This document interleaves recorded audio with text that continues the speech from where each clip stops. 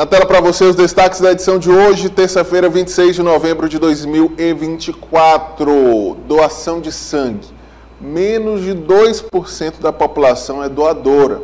O número é inferior ao recomendado pela Organização Mundial de Saúde, a OMS, para atender as demandas. E sempre nessa época do final de ano, o EMOP, né, o Hemocentro do Piauí, faz campanhas para convocar, né, uma convocação solidária, né, convocar os doadores a comparecerem, porque na reta final do ano, com as festas de final de ano e toda a movimentação, cresce o número de acidentes, cresce a demanda por bolsas de sangue nos hospitais da rede pública e privada, então é importante que você, doador, compareça né, no final de ano. Você que ainda não é doador, procure o EMOP e faça o seu cadastro, seja um doador de sangue, que é muito importante. Ainda sobre o final de ano, é, o comércio já deu início, viu? A contratação temporária, as vagas temporárias de final de ano. Segundo o Sind Lojas, o Sindicato dos Lojistas do Piauí, este ano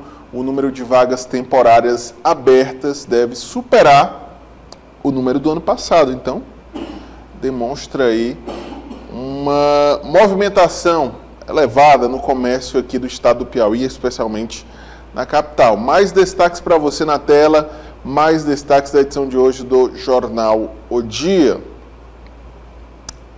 13 terceiro salário deve injetar 2 bilhões e 800 milhões de reais na economia do Piauí. É um estudo publicado pelo DIEESE, o Departamento Intersindical de Estatísticas e Estudos Econômicos, que aponta que o 13º salário pode injetar mais de 2 bilhões e 800 milhões de reais na economia do Piauí.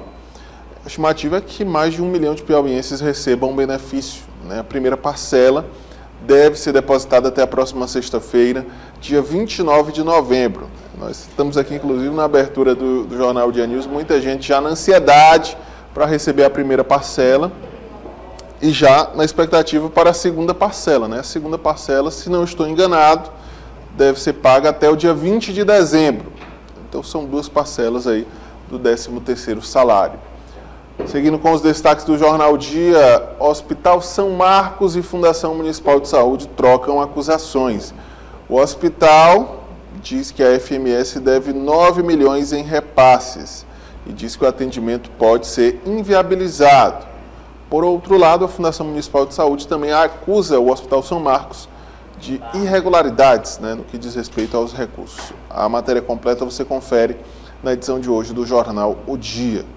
Orçamento, Teresina deve passar por mini reforma, inclusive, viu, sobre a reforma administrativa, tem até informação que acabei de receber aqui é, da equipe de comunicação do prefeito eleito Silvio Mendes, informação que já está inclusive lá no portaldia.com, viu? O prefeito eleito é, vai fazer uma reforma administrativa, além das secretarias que vão ser extintas, dos, dos órgãos que vão ser extintos, né? A novidade aqui é que o prefeito eleito pretende enxugar o número de cargos na administração municipal.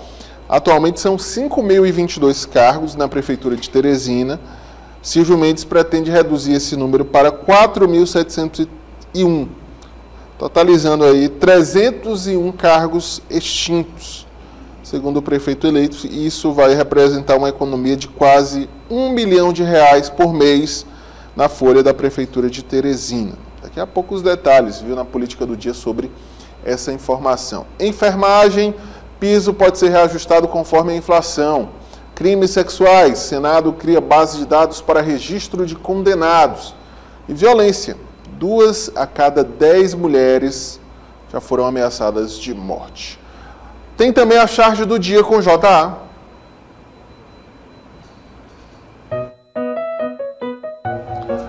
Charge do dia com JA, Papai Noel, né? Já está chegando ao Piauí trazendo a chuva de presente, né?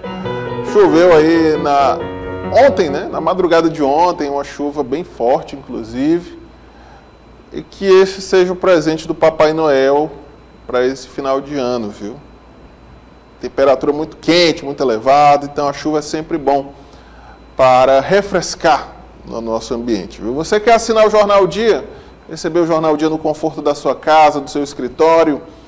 Ligue, ligue assim, 21069944, 21069944. Você liga, assina, recebe o Jornal Dia no conforto da sua casa, do seu escritório, do seu ambiente de trabalho. Você também pode assinar a nossa versão digital, no seu tablet, no seu celular, no seu computador. Você também pode ter acesso à informação com a marca de credibilidade do jornal O Dia.